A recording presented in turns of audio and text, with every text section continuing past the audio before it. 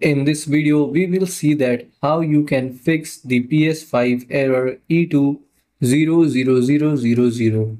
So make sure to watch till the end so you do not miss any important steps. So there are few ways that can help you to fix this error. The first thing you should try is restarting your PS5.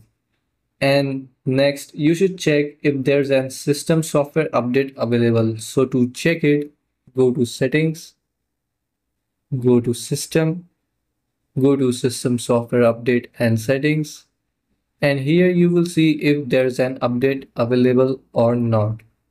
So now if the problem is still not fixed, then you can try rebuilding the database.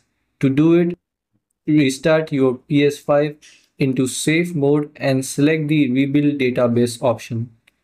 And if you are installed any new games or apps recently, one of them might cause the problem. So you can try uninstalling that game or app to see that if that clears the error.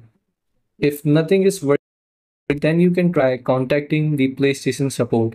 They are the experts and they can guide you through more specific troubleshooting steps.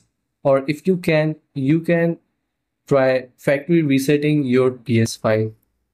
And I hope all of this information helped you out and thanks for watching.